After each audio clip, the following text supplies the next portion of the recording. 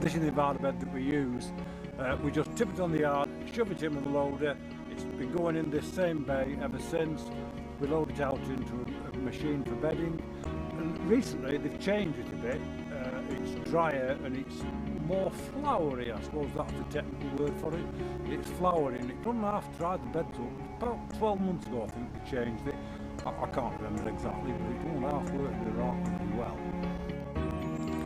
Produced from the waste short fibres rejected in paper recycling, this material, carefully sourced, mechanically processed and heat treated to 94% dry matter, is supplied to farms in bulk, 27 tonne artics, 16 tonne 8 wheelers, or on pallets in 20 kilo bags.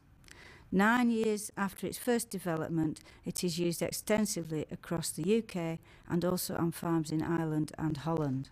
I think since we started using Envida bed, we've noticed we never need to buy lime. At one time, nearly needed to buy a ton of lime for every ton of fertiliser. So here we were buying about 150 ton of lime.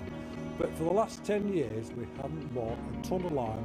And we tested 100 acres of maize ground last year, and it was all at 6 and 6.5. So it must be the, the alkalinity of the environment that's doing that. So The material offers cows a drier lying surface due to the exceptional absorbency and the alkaline pH discourages mastitis causing bacteria and lowers cell counts.